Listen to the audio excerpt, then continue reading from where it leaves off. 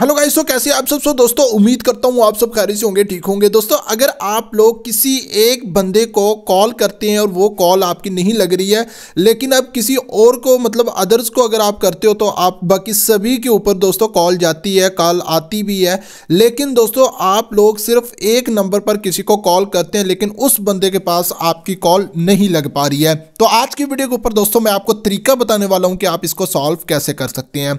सबसे पहले दोस्तों, आप जैसे अपने फ़ोन फ़ोन डायलर के ऊपर आती हैं। आने के बाद दोस्तों, आपने जस्ट करना क्या है? यहाँ से दोस्तों, आपको तीन डॉट्स के ऊपर आना है, ठीक है? उसके बाद दोस्तों सेटिंग्स के ऊपर आ जाना है। अब जैसे आप सेटिंग्स के ऊपर आओगे दोस्तों, यहाँ पर आपने सबसे पहले ब्लॉक नंबर का ऑप्शन देखने को मिलेगा। यहाँ पर आपने चेक कर लेना, आपने उसको ब्लॉक तो नहीं किया हुआ।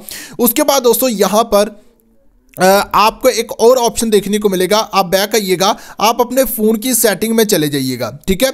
यहाँ पर दोस्तों आप लोगों को सर्च करना है कॉल बेरिंग का ऑप्शन ठीक है? यहाँ पर जैसे आप कॉल बेरिंग का ऑप्शन सर्च करोगे सो यहाँ पर आपको ये ऑप्शन देखने को मिल जाएगा। ठीक है? अब कॉल बेरिंग का ऑप्शन सीन क्या है कि दोस्तों, अगर उस बंदे ने आपका नंबर कॉल बेरिंग पे लगा रखा है या ऑन किया हुआ है इस ऑप्शन को तो फिर भी दोस्तों आप लोगों को जो है यहाँ पर कॉल नहीं लगेगी। लेकिन दोस्तों, आप चाहते हो कि हम इसको कैसे सॉल्व करें, कैसे हम उस बंदे को कॉल कर सकते हैं। ये रीज़न ये तरीका हमें बताइएगा। तो दोस्तों, आपने सबसे पहले करना क्या? यहाँ पर आपने मैसेज वाले एप्लीकेशन के ऊपर आना है, ठीक है?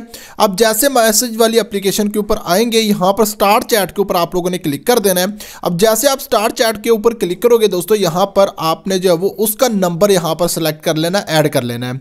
उसके बाद दोस्तों, आपकी जो सिम यहाँ पर मौजूद है, आपने उसको सेलेक्ट कर लेना, ठीक है? पहली सिम है या दूसरी सिम है, आपने सेलेक्ट कर लेना। उसके बाद दोस्तों, यहाँ पर आपने हेलो यहाँ पर आपने लिखना है। अब जैसे आप हेलो लिखोगे, यहाँ पर दोस्तों आप देख सकते हो सेंड हमारा हो चुका है, ठीक है? यहाँ पर आप देख सकते हो जोंग सीपी जोंग से हमारा जो है यहाँ पर ऐसा मैस चला गया है। यहाँ पर मैं और भी अगर टाइप करता हूँ सेंड करता हूँ। लेकिन दोस्तों, अगर आपके पास यहाँ पर ये वाला आएगा, आप देखिएगा, मेरे पास यहाँ पर जो है वो दो मैसेजेस मेरे यहाँ पर जो है जा चुके हैं। लेकिन ये वाला जो मैसेज है, ये वाला देख सकते हो, दोनों मैसेजेस हमारे जो है वो एक सिम से, यानी कि दोनों सिम से मैंने भेजकर देखे और चले गए।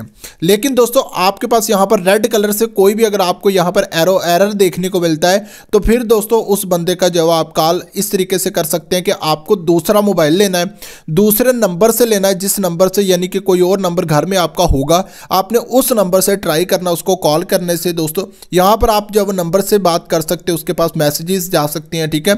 उसके बाद अगर ये आप मैसेजेस भी नहीं जाते तो फिर आपने दूसरा अदर नंबर लेना है, उससे कॉल करनी है, आपके पास कॉल जाएगी। और उससे पूछना कि आपके नंबर पे कॉल क्यों नहीं लग रही है। सो इस तरीके से दोस्तों आप लोग कर सकते हैं। बाकी मैं उम्मीद करता हूँ आज की वीडियो आपको काफ़ी अच्छी और बेहतरीन लगी होगी। तो भाई लोगों, इस वीडियो को लाइक कर देना, चैनल को सब्सक्राइब कर देना।